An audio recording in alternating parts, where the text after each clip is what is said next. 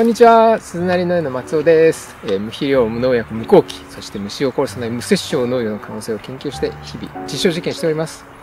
で今日はですね、えっと、3月24日金曜日、えー今日はですね、あの会社アニバーサリー休暇というのを取ってですね、えっと畑ボに来ましたけど、あいにくの雨模様です。で、3月24日といえばですね、実はあの明日、3月25日がですね、自分の誕生日なんですよ。でですね、妻が、パパ何が欲しいっていうふうに聞いてくれてですね、いろいろ考えたんですけど、試しにですね、蜂の巣箱が欲しいって言ったらですね、お、それいいじゃんみたいにですね、なんと、あの、賛成をしてくれてですね、実は自分あの、この畑を始める直前までは、えっと日本ミツバチを育てて、その蜂蜜で一攫千金を狙おうというふうに思ってたんですよね。でも、えっと、野菜作りの方に目覚めてしまって、だからそれ以来ずっと蜂の巣箱を設置してですね、蜂を育ててみたかったんですよ。で、今日ですね、その夢が叶う。で、えっ、と、蜂の巣箱を誕生プレゼントで買ってもらって、昨日ですね、それが届いたので、で今日はですね、それをこの畑墓に設置します。で、蜂はですね、ここ九州、福岡なんですけど、えーと3月の中旬ぐらいからですね、分蜂って言って、蜂の巣に女王蜂が生まれて、それがですね、塊になってこう、分蜂、分かれるんですよね。分かれて飛んできて、そこの巣に入るっていうのが始まるんですけど、もうすでにですね、福岡は始まってるんですよ。なので、ちょっとだけですね、タイミング的にも遅いかもしれないんですけども、ここ数日ですね、寒い日が続くので、そそれから、えっと、月曜日に晴れますんで、月曜日に蜂さんたちがですね、巣箱からファーッと飛び立って、僕の巣にぴょって入ってくれるといいなっていうので、ちょっと今日ですね、ちょっと雨模様で小雨らつく中なんですけども、蜂の巣の設置ですね、蜂の巣箱の設置、生まれて初めての蜂の巣箱の設置の模様をですね、お伝えしたいと思います。はい。じゃあまずは場所を考えましょう。場所。場所を考えます。なるべくね、日が当たりすぎないけど。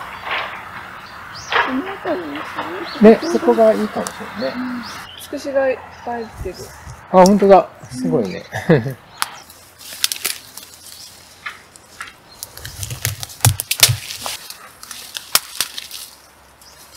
これがね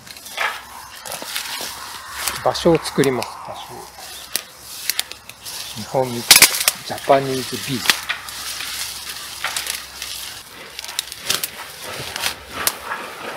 これをちょうど屋根にして、これってちょっと映ってないかもしれない。ここに笹笹が生えてて、それを日陰にして、たくさん作ると。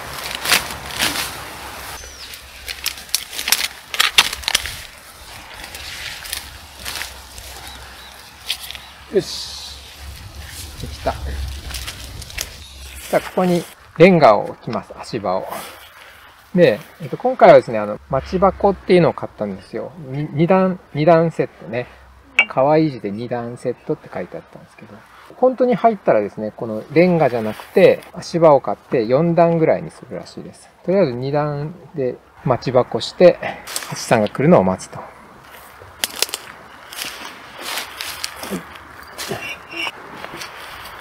感じでいい？パパ。はい。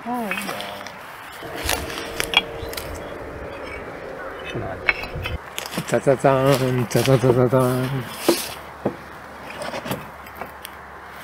よし、できた。違う違う違う。開けます。ちょっと出しますね。じゃんじゃん。これ、誕生日プレゼントなんですよ。ほら。ほらほら。ほらほら。これがなんと、底板。あ、もうちょっとよ、もだねし痩せても。そうだね。箱のサイズで思ったら、あれだった。うん箱よりもちょっと一回りちっちゃかった。ここに、これだけ切ってもいいこれこれ。おとりあえずだよね、うん、そうそう。日本ミツバチが来たらもう。で、本当は、えっと、巣箱を5個買って、最低3箇所ぐらいで、100メートルの間を空けて置かなきゃいけないらしいんですけど、まず、畑墓は100メートルもないもんね。で、あと、この町箱巣箱もですね、結構な値段がするんですよ。あと5回誕生日が来たら、これをまず、そこ板を置きます。じゃん。はい。で、次に、これがですね、ここの隙間から蜂さんが出入りをして、こう狭くなってるのは、スズメバチが入れないようにするらしいですよね。ね。こうじゃないな。こうだね。こうだね。で、次にこれですね。これ。ここに、えっと、日本ミツバチの巣ができていくと。で、この鉄の棒が、鉄の棒？棒が入ってることによって、巣箱が下にポワ取って落ちないようにこれ十字にしとくらしいですよ。割と勉強してるんですよ。で、ですね、ここの、ここにスノコがあるんですけど、ここの裏にですね、これちょっと黄色くなってるんですよ、これ。黄色くなってるんですけど、ここにね、あの、蜜蝋が塗ってあります。昔、秀郎って人いたよね。蜜蝋が塗ってあります。秀郎じゃなくて。蜜蝋っていうのは、蜂蜜ですね。蜂蜜の蝋みたいなやつ。塗ってあって、これが、これがあると誘引されて、蜂がここに来るらしいので。こうすげえかっこいい。これ誕生日プレゼントです。ね、で、えっと、ここに蜂がファーって巣を作って、これがどんどんどんどん下にこう作っていくんですね。そしたら、ここをパカッて開け上げて、ここにこれ、この段をですね、これをどんどん積み重ねていくと。で、収穫？蜂の蜜をもし、ちょっとかわいそうで多分取れないはずなんですけど、もし取るとしたら、ここ、ここに紐かなんかでピュッピュッピュッって切れ目を入れて、で、これを外して、で、蜜を取って、で、このスノコをこっちに付け替えるみたいな。なんかそういうことをすると、蜜が取れるらしいです。はい。で、あとはこれ、雨よけですね。雨よけ。おうち。雨よけ。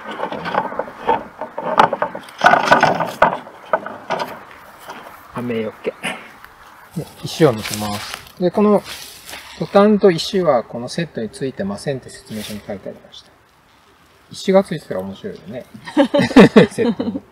もう石までつけてくれるように。なんかちっちゃい神社の祠みたいな。本当ね。後でお参りして。